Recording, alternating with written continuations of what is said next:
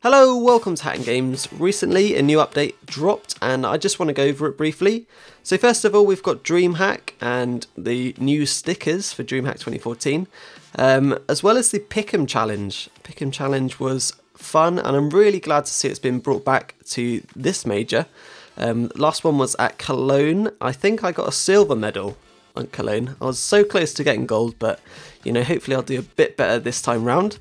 Uh, the stickers for this major are again a completely different design. They seem to have gone with a square pattern for this one.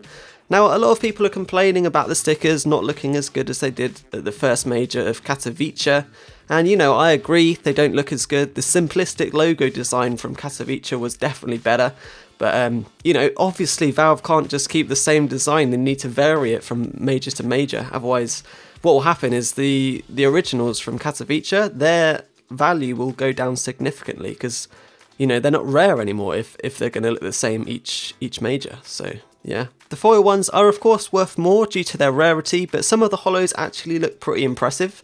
Uh, my favourite has to be Cloud9's purely because it stands out from the rest with the blue colour scheme. I have no idea on which organisation's sticker will be worth the most, but I'm guessing it will have a direct correlation with their performance in the tournament. Okay, so moving on to Operation Vanguard, there have been a few changes with how the mission cooldowns work. If you've not been playing for a while and are unable to complete missions, you can now build up a backlog to grind through without any delay. This just means that it doesn't matter at what date you start the operation, you can still complete it and get the same rewards if you are dedicated enough. On to the main changes now, and I'm sure a lot of you will be happy to see these. Uh, there have been three new restrictions to competitive matchmaking. The first of which makes it so that if a player doesn't have a skill group, they will not be able to queue in a party with a player of a very high skill group. The reason Valve have done this is just to prevent people making throwaway accounts, using cheats, and boosting their friends to global.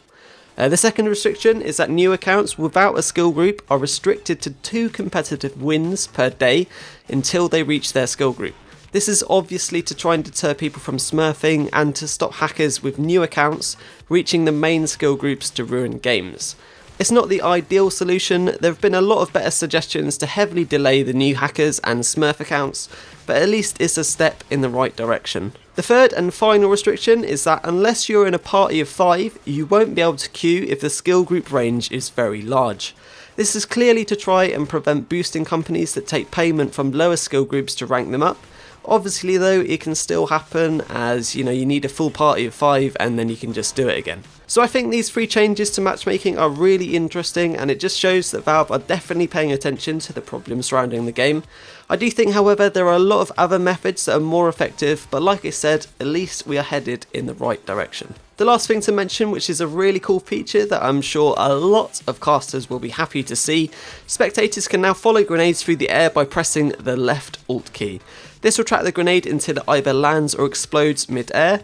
Now I know Anders has been uh, requesting this ages ago, ages ago, and it's finally being added just before DreamHack, so awesome stuff, great to see that. I'd love to hear your thoughts on the update, particularly on the new matchmaking restrictions that Valve have put in place. Are they efficient enough or do we need a completely different system?